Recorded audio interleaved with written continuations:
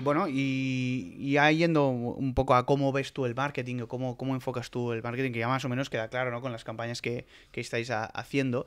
Eh, estamos dentro del marketing de contenidos, podríamos decir. Eh, y son cosas que hemos comentado también en otros podcasts de, de aquí en Aporta o Aparta, que al menos yo tengo como la sensación de que se está llegando como a la saturación, no sé qué piensas tú, ¿eh? en ese sentido, porque se genera tantísimo contenido tan fragmentado y tan fungible que a veces me- me- uno se pregunta, ¿no? ¿Hasta qué punto esto llega a ser rentable para las marcas? Claro, mira, eh, em, escuchaba, escuchaba hace nada, eh, además como esto va a salir dentro de, de días, escuchaba hace nada un podcast que ha lanzado Darío MH, ¿Mm?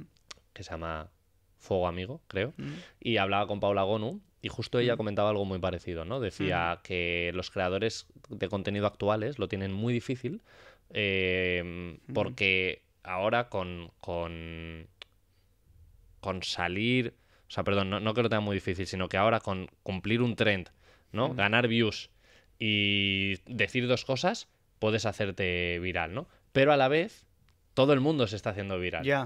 Mm. Entonces, me parecía muy interesante porque ella comparaba las diferentes generaciones de creadores de contenido, ¿no? La de generación de Dario MH, donde eran muy, muy poquitos, ¿no? Eh, la generación de eh, posterior de Paula Gonu, la de ahora, de los creadores de contenido de ahora, como pueden ser pues Lola Lolita o, o un aunque llevan años creando contenido, Sí. pero ahora es como que surgen, ¿no? Y hay mucha competencia de contenidos, pero también a la vez se ha democratizado muchísimo el, el cómo distribuir ese contenido. Creo que para las marcas ocurre más o menos igual. Es decir. ¿hay saturación?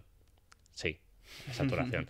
¿Creo que esa saturación es crítica? No, no, no, no. Creo, creo que no, porque hay cosas que siguen calando, ¿no? O sea, Sí. si yo te sigo hablando de Estrella Galicia, eh, bueno, pues sabes perfectamente de qué campañas te estoy hablando. Si yo te hablo de vicio, sabes de qué campañas te estoy hablando. Correcto. Eh, si te hablo de el, sal- el salto de Lola Lolita con mil anuncios, sabes de qué te estoy hablando. Es decir, hay hueco, evidentemente. Y, y ojo, no es el hueco para los mayores presupuestos. ¿eh? Estamos viendo como cada vez más marcas pequeñitas de Sí, repente pegan sí. pelotazos y, y son reconocidas, ¿no? Entonces, bueno, creo que eso implica que, que la saturación requiere mucha más creatividad y requiere mucha más disrupción. ¿Por qué? Porque donde antes eh, no había nadie gritando, el primero que gritaba era el que se escuchaba. Pero en un mundo en el que todo el mundo está gritando, no te basta con gritar, ¿no? Exactamente. Tienes que afinar para que por lo menos Mm. digas, eh, que suena bien, ¿no? Aquel. Entonces creo que, que, bueno, ha- hay cierta saturación. Ajá. ¿Creo que compensa a las marcas? Sí, sí, creo que compensa a las marcas. Los De que lo hecho, hacen bien, seguro, ¿no? de hecho, creo que el contenido es de las cosas que más compensa a las marcas. O sea, al final estamos tan expuestos a, a publicidad, tan expuestos a estímulos, que, mm, que, que otras vías, bueno, pues sí, son efectivas, ¿no? Pero, pero no te van a generar esa diferenciación, ¿no? Tú no, a priori, no me vas a decir que la marca que más diferencial te parece es la que solo hace un anuncio en tele. O la que te hace un buen performance, un buen paid media. No, no, probablemente no. Ojo, probablemente la que más diferencial te parece también haga eso. Ya, ¿Sabes? claro. Y lo haga bien, pero te entra por orgánico, ¿no? Entonces yo creo que el content y, el contenido en general eh, es algo que compensa mucho y que va a compensar más. Lo que quizás es difícil es, bueno, conseguir destacar, ¿no? Dentro Sí. de, como tú dices, tanto ruido, porque me, me da a mí la sensación que eh, algunas marcas como las que has mencionado, que lo hacen bien, consiguen eh, ese, ese foco de atención y consiguen rentabilizar esto, pero eh, en, contra, en contrapartida seguro que también hay muchas más marcas que se han querido subir al carro digital, pero como que no ha acabado de hacerlo bien o de creérselo, ¿no? Y están como, me da la sensación, ¿eh? quizá a veces es percepción, ¿eh? que se llega a ese punto de hartazgo, ¿no? De decir, ostras, llevamos años aquí en- intentando hacer contenidos sin conseguir realmente una relevancia o una conexión con ese público más joven, ¿no? De hecho, a mí un día me van a echar por hater. Pero de hecho te digo más.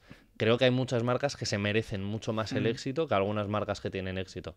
Porque creo que hay marcas pequeñas que tienen una creatividad brutal, una disrupción brutal, unas ideas espectaculares y que no o no han dado en la tecla o hay veces que la aleatoriedad también entra en juego y hay veces que un día de repente coge y se hace y se Ujú. hace grande o hay veces que no tarda más tarda menos no pero creo que hay muchas marcas que se lo merecen y que no lo tienen Pero bueno, es que también creo que hay mucha gente que trabajaría increíble y que no tiene Mm. trabajo, y hay mucha gente que no trabaja muy bien y tiene trabajo, ¿sabes? Entonces, sí, esto sí. ocurre en el mundo humano, pues también ocurre en el mundo de las marcas. Sí, sí, claramente no es una ciencia exacta y menos si, si no te conoce nadie, ¿no? Como No. tú dices, Mil Anuncios tenía ese, esa ventaja, ¿no? De, de- de- de haber calado ya, al menos sonaba, ¿no? Dentro de la población. Entonces, e- eso hace que el reposicionamiento pa- no parta de cero. Entonces, Correcto. es mucho más, no, no quiero decir fácil, ¿eh? Para quitar mérito, pero... No, tienes un recorrido ya un hecho. recorrido, exactamente. ¿Cuál es la parte difícil?